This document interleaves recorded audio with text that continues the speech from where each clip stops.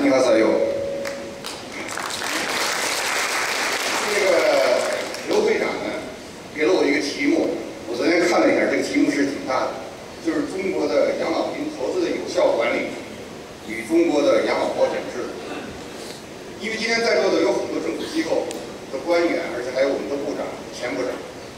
呃，要这两个题目单讲的话，一个题目讲三天讲不完，因为中国的事情太复杂了。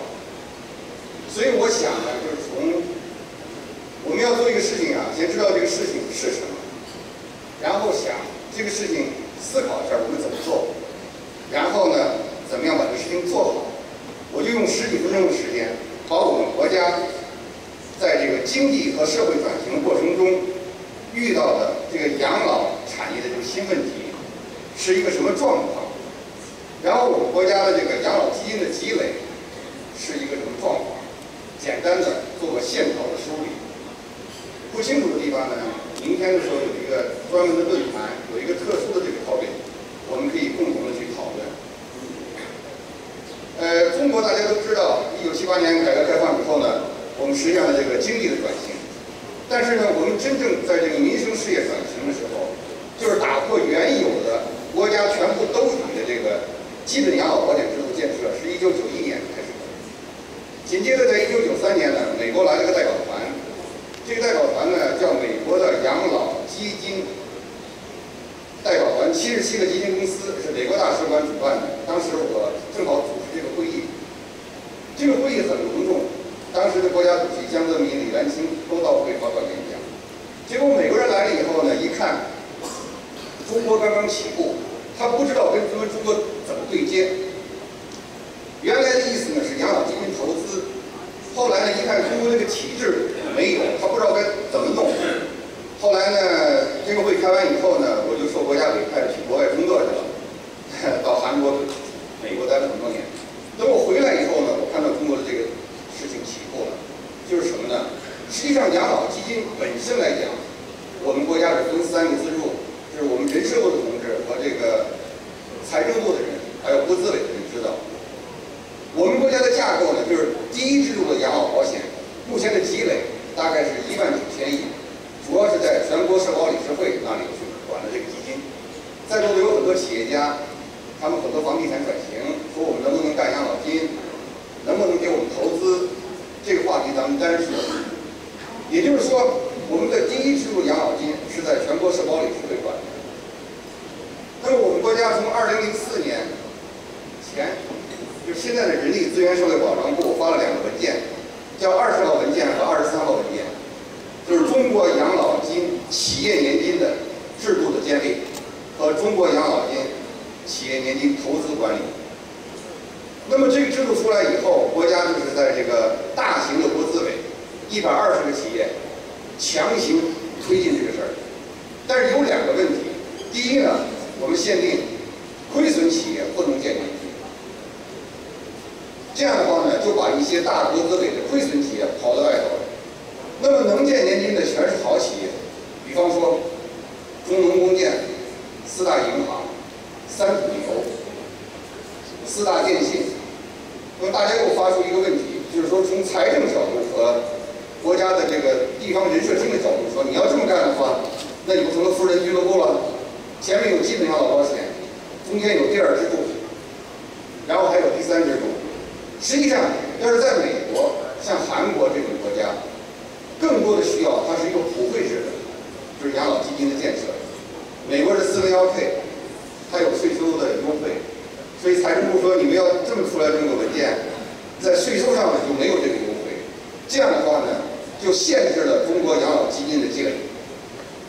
到现在为止，我们第二支柱我们积累的资金是一万亿。这样的话，我们还有很多问题。那么地方企业，我们有二十五万地方企业，这些企业的基金年这个养老金我们怎么建立？没有强行、没有强制性推动是很难建立起来的。包括青岛，我来过几次。那么还有，就是说税收的问题，把它影响、把它制约了。这是我们国家这个养老体制、养老基金的整个一个架构的一个概况，我给大家做个汇报和介绍。那么现在整个市场上，有六万多亿。这个钱怎么用？因为今天有很多企业我看到了，包括医疗养生的，上个月在海南开会的人都来了。这个钱怎么用？我告诉大家，你们再公司或保险公司投资的时候，你们把自己的项目一定要介绍清楚。很多我们的企业都是以养生、医养结合来推动，实际上很多企业我看是原来的房地产的，所以自己是一定要把这事讲好的故事。包括今天我看那个赞助企业生物这个也挺好的。我觉得这一部分的资金它应该配合国家的政策，刚才像几位领导讲的，扶持与国的刚性需求，因为按照联合国的标准。六十岁以上人口超过总人口的百分之十，老龄化社会；超过总人口的百分之七，重度老龄化社会。我们国家到今年全部超过二点二亿到二点四亿，这种刚性需求，你包括我们自己的父母，刚才有的同志讲，你根本就照顾不上的。所以这样的话呢，我们就需要一个养老模式的建立。那么养老模式怎么建立？又牵扯到三个问题。过去说什么呢？一个孩子不要怕养老靠政府，现在提出来什么社区养老、医养结合、养老院、机构养老多了，特别多。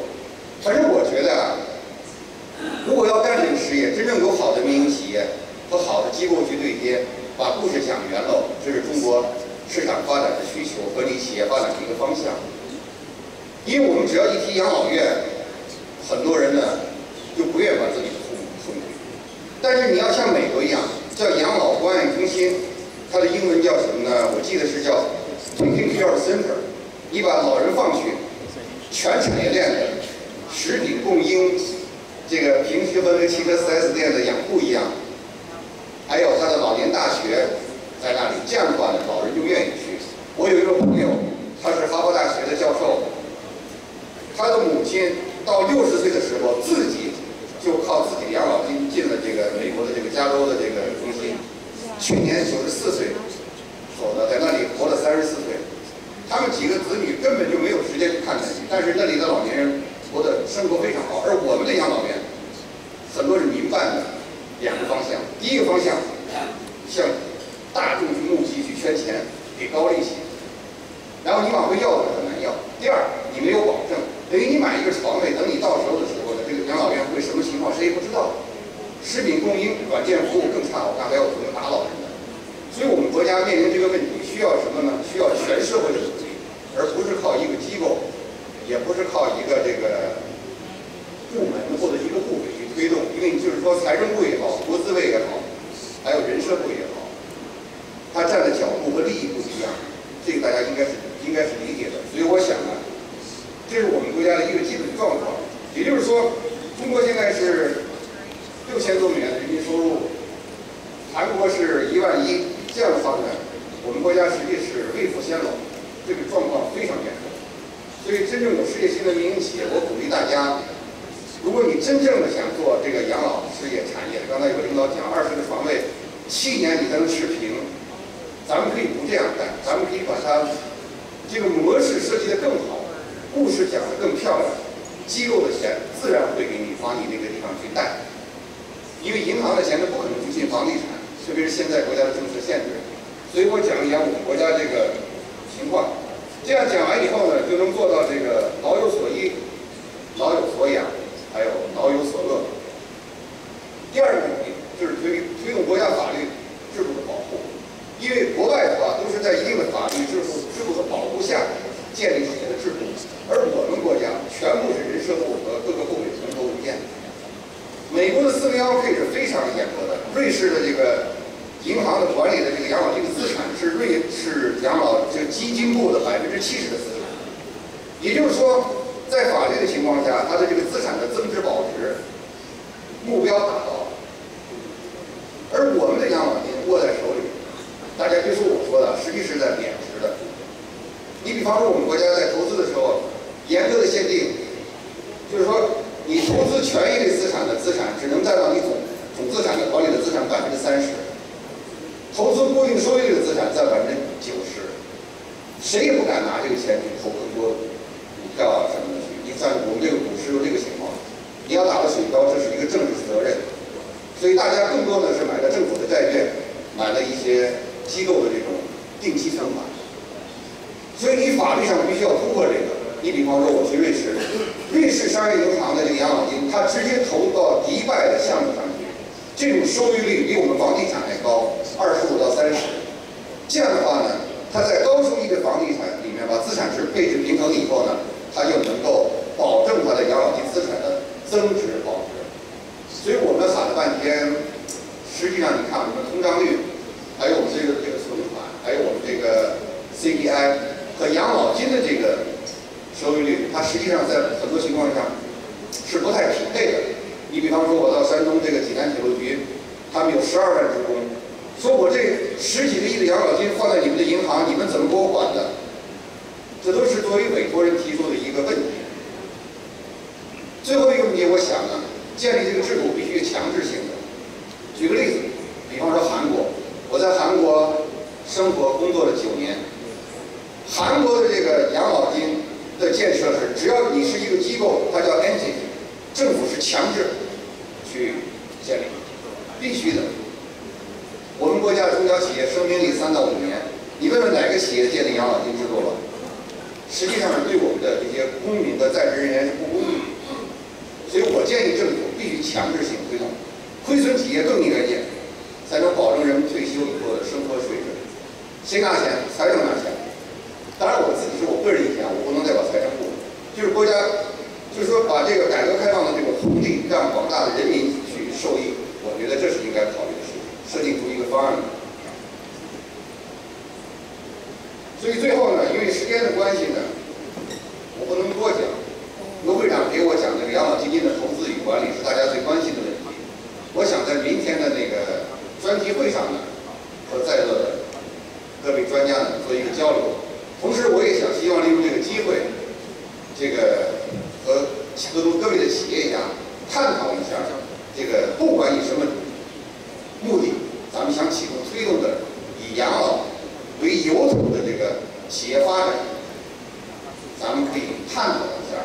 最后用一句话讲一讲我们建设银行这个养老金公司怎么回事儿。养老金公司呢，过去讲都是要买房嘛，找建行，以为建行是搞房地产。